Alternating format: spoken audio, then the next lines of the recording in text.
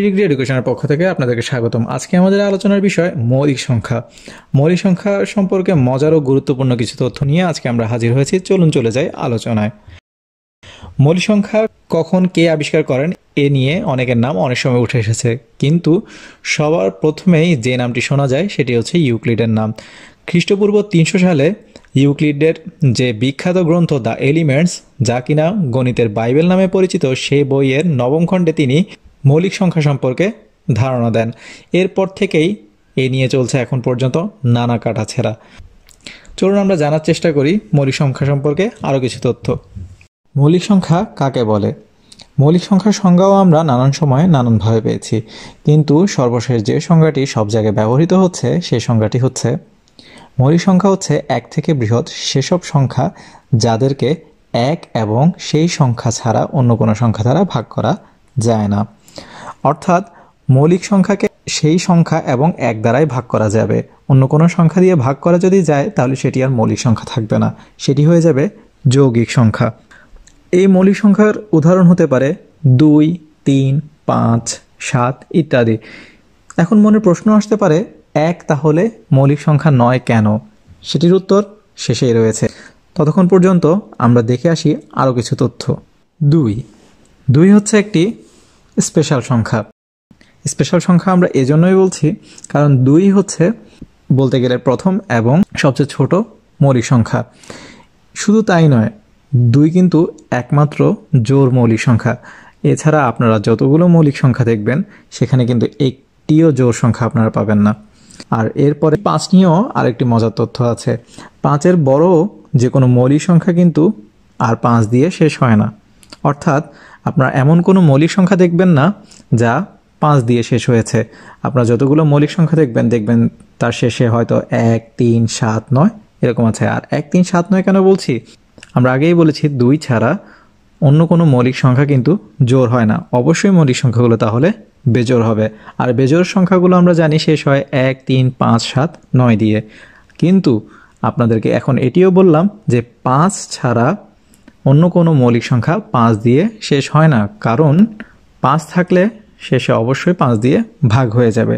তাই পাঁচ ছাড়া অন্য কোনো মৌলিক সংখ্যা পাঁচ দিয়ে শেষ হয় না। মৌলিক সংখ্যা সম্পর্কে আরও একটি মজার তথ্য হচ্ছে শূন্য এবং এক ছাড়া সব সংখ্যাই হয় মৌলিক বা যৌগিক। মানে আমরা প্রত্যেক সংখ্যাকে দুটি ভাগে ভাগ করতে পারি, হয় তা মৌলিক বা যৌগিক। যৌগিক সংখ্যা কাকে বলে? যৌগিক সংখ্যা হচ্ছে যে সংখ্যাগুলোকে অন্য কোনো সংখ্যা দ্বারা ভাগ করা যায়। অর্থাৎ যারা মৌলিক নয়। মৌলিক না হলেই যৌগিক, আর যৌগিক না হলেই মৌলিক। একদম সিম্পল। প্রথমে আমরা বলেছিলাম দুই হচ্ছে সবচেয়ে ছোট সংখ্যা। অর্থাৎ যে স্বাভাবিক সংখ্যা থেকেই মৌলিক সংখ্যা শুরু।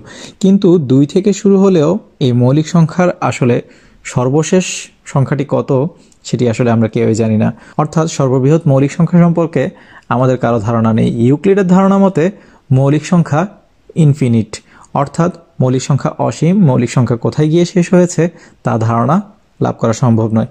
কিন্তু এখন পর্যন্ত মৌলিক সংখ্যা নিয়ে যত সব গবেষণা হয়েছে, সেই গবেষণার তথ্য মতে সর্ববৃহৎ মৌলিক সংখ্যা যেটি আবিষ্কৃত হয়েছে, সেই মৌলিক সংখ্যা বা প্রাইম নাম্বারটি two four eight six two zero four eight ডিজিটের অর্থাৎ দুই কোটি আটচল্লিশ লক্ষ বাষট্টি হাজার আটচল্লিশ ডিজিটের মৌলিক সংখ্যা। আর সেই সংখ্যাটি কত আপনারা কি জানেন? সেই সংখ্যাটি হচ্ছে two to the power eight two five eight nine nine three three minus one. আর এই বিশাল সংখ্যাটি আবিষ্কার করেন great internet Mersenne prime search সংক্ষেপে জিআইএমপিএস এর প্যাট্রিক লারোখে। আর এটি আমরা জানতে পারি গত বছরের আজকের এই দিনে, অর্থাৎ সাত ডিসেম্বর দুই হাজার আঠারো সালে। এ থেকে ধারণা করাই যায় আসলে কত কত মৌলিক সংখ্যা এখন পর্যন্ত আবিষ্কৃত হয়েছে বা রয়েছে।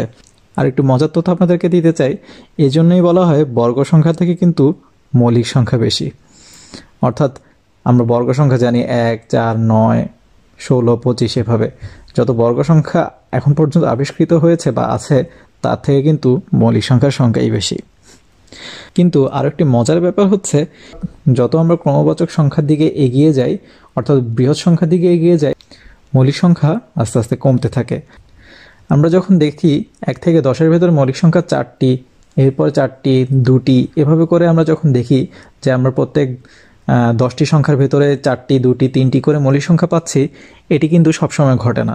এই যে মৌলিক সংখ্যা নিয়ে আমরা এত আলোচনা করছি, মৌলিক সংখ্যাগুলো আসলে কীভাবে নির্ণয় করতে হয়?